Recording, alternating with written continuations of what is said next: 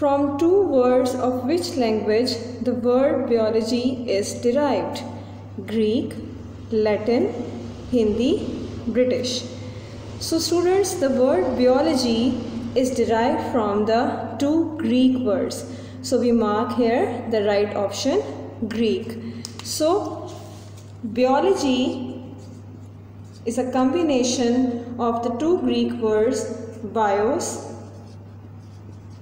meaning the life and the logos meaning thought. So basically that's why we mark here the option A. Number 6. Which level of molecules is less complex in plants? Organisms, organ system level, organ, chlorine. So students, organ system level is a level of molecules which is less complex in plants and it is because that the range of the functions and the activities is very less in plants as compared to any animal. So we mark here the right option B. Number 7. An example of biomolecule is a proton, protein, iodine, chlorine. So students, biomolecule. You can clearly see that this molecule will be present in the living system. So, this molecule will be formed in the living system and will be utilized in the living system. And we can see the protein is that biomolecule which can be formed in the living system and which is a very important part of any living organ organism. So we mark here the option B which is protein. Number 8. Similar cells organized into groups and performing same functions are known as organelles, gerund, tissue, organ. So students, whenever the similar cells combine they will be known as tissue. So and when this tissue combine it will form as organ. So here we have the option tissue.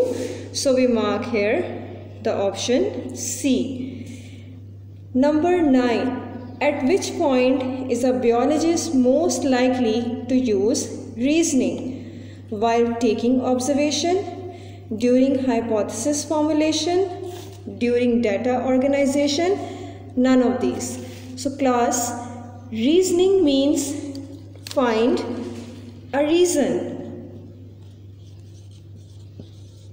So when we observe the options we know that during the hypothesis formulation scientists used a reason to form a statement on the base of their creative thinking so we mark here the right option which is B. Number 10. Dengue fever is spread by Culex mosquito, Aedes mosquito, Anopheles mosquito, none. So class, all these are the types of mosquito. This mosquito cause malaria in the human this mosquito causes malaria in the sparrow and this is the mosquito which cause the dengue fever. So whenever the Aedes mosquito bites a healthy person, it will transmit a dengue fever in it. So we mark here the right option B. Number 11. Plasmodium cause to spread diseases. Yellow fever, TB, polio, malaria. Students plasmodium is a parasite. So when it enters the blood of any healthy person it will cause malaria and we can also say that plasmodium is the cause of malaria So we mark here the right option which is D.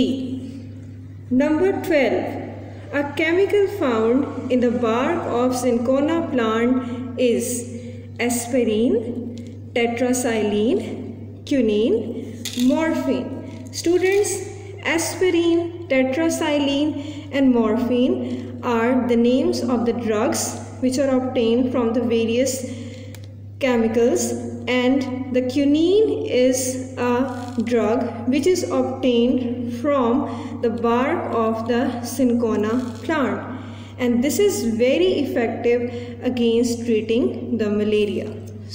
So here the right option which is C. Number 13 bioelement is aluminium, cobalt, bromine, carbon. So students bioelement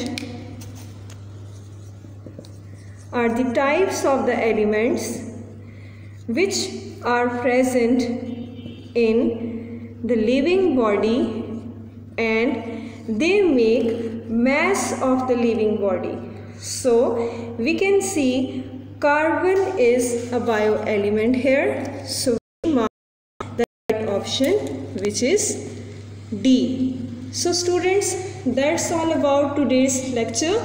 I hope that you clearly understand all the given options here and MCQs and the statements. We will meet in the next lecture. Till then, Allah.